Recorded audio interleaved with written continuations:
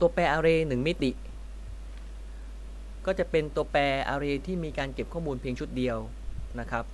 รูปแบบของตัวแปร array 1มิติ ก็จะประกอบด้วยการ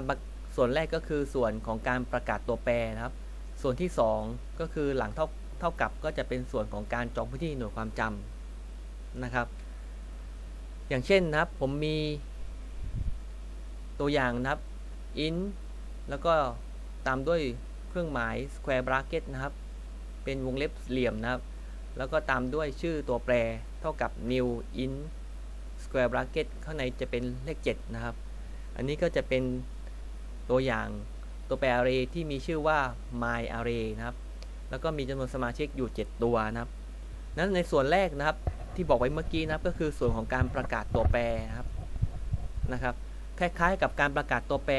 ทั่วๆไปนะครับ สิ่งที่แตกต่างก็คือตัวแปร array จะต้องมีตัว square bracket ต่อท้ายชนิดข้อมูล เพื่อเป็นการบอกว่าชื่อตัวแปร array นี้นะครับ เป็นชื่อตัวแปรนี้จะเป็นตัวแปร array นะครับ สามารถเก็บข้อมูลได้มากกว่า 1 1 ค่านะครับ เป็นชุดข้อมูล ในส่วนหลังครับ ในส่วนหลังก็คือ ส่วนของการจองพื้นที่หน่วยความจำนะครับ ก็ เป็นการจองพื้นที่หน่วยความจำขนาด 7 ที่นะครับ เพื่อเก็บข้อมูล ก็คือ new int square bracket แล้วก็ตามด้วยหมายเลข7นะครับ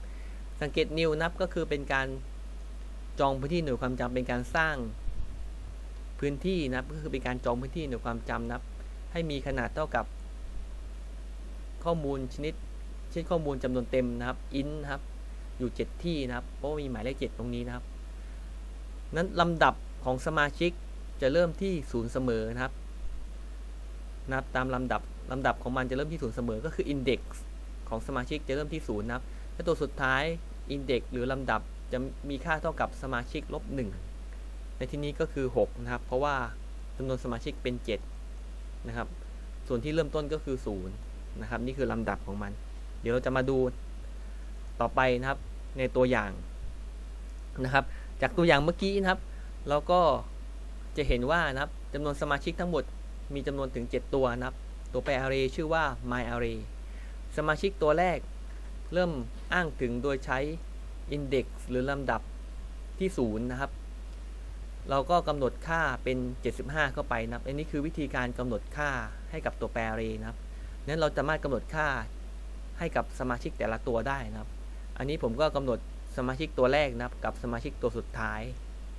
ด้วยนะครับ มาชิกตัวสุดท้ายก็คือลำดับที่ 6นับ ก็คือ7ลบ1เท่ากับ 6นับลบ1นะครับ สมาชิกก็คือ 7 นะครับ ฉะนั้นผมกำหนดค่า 79 เข้าไปนะครับ ในบรรทัดนี้นะครับ ก็ลำดับที่ 5 ผมก็กำหนดค่า 85 เข้าไปนะครับ ยังมีลำดับที่ 1ลำดับที่2ลำดับที่3ลำดับที่4นะครับยังไม่ได้กำหนดค่านะครับ เราก็สามารถไปกำหนดค่าได้นะครับ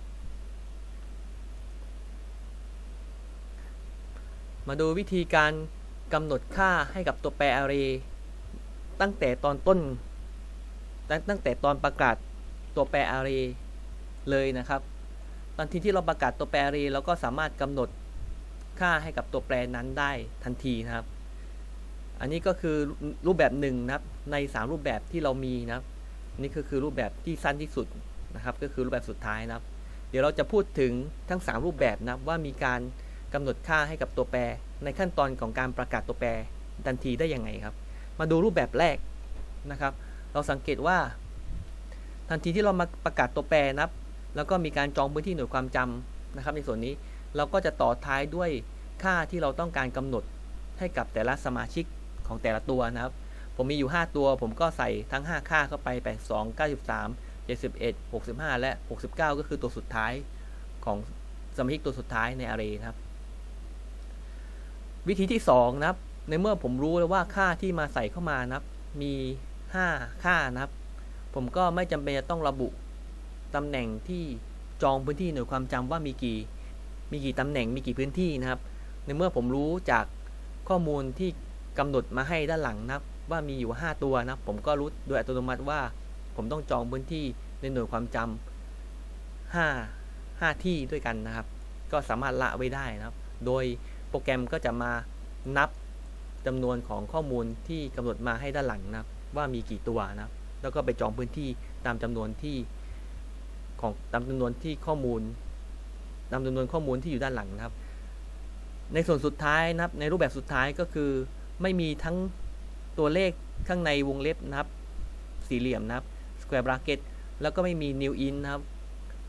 นะครับ โปรแกรมจะรู้โดยอัตโนมัติอัตโนมัตินะครับ จะมีการจองพื้นที่โดยอัตโนมัตินะครับ โดยมีขนาดของพื้นจำจำนวนของพื้นที่อยู่ 5 ตัวนะครับ 5 พื้นที่ 5ตำแหน่งนะครับ แล้วก็มี ขนาดของแต่ละพื้นที่เท่ากับ integer นะครับ เท่ากับ int นะครับ อันนี้โปรแกรมก็จะรู้โดยอัตโนมัตินะครับ ในบางครั้งเราต้องการทราบจำนวนสมาชิกครั้งหมดของตัวแปร array ซึ่งเราสามารถหาได้โดยการใช้คุณสมบัติที่ชื่อว่า length นะครับจำนวนสมาชิกของตัวแปร array เราสามารถเรียกได้อีกอย่างหนึ่งว่าความยาวของตัวแปร array นอกจากความยาวของตัวแปร array ซึ่งสามารถหาได้โดยใช้คุณสมบัติ length เรายังสามารถหาได้โดยใช้ค่าขอบเขตบน ซึ่งค่าขอบเขตบนสามารถที่จะบ่งบอกความยาวของตัวแปร array ได้ นอกจากขอบเขตบนเรายังมี ขอบเขตล่าง ขอบเขตบนและขอบเขตล่างคืออะไร ขอบเขตล่างก็คือลำดับของสมาชิกตัวแรก lower bound ส่วนขอบเขตบนก็คือลำดับของสมาชิกตัวสุดท้าย หรือ upper bound ขอบเขตล่างที่ก็คือลำดับของสมาชิกตัวแรก ซึ่งมีค่าเท่ากับ 0 เสมอนะครับเพราะว่าเป็นลำดับตัวแรกของสมาชิก ลำดับสมาชิกของตัวแรก ส่วนค่าขอบเขตบน จะมีค่าเท่ากับจำนวนสมาชิกของตัวแปร array ลบด้วย 1 หรือเล้งลบ 1 ก็คือลำดับของสมาชิกตัวสุดท้ายนะครับ ในภาษา C Sharp เราจะมีการหาค่า lower bound กับค่า upper bound โดยการใช้เมธอดที่ชื่อว่า get lower bound และ get upper bound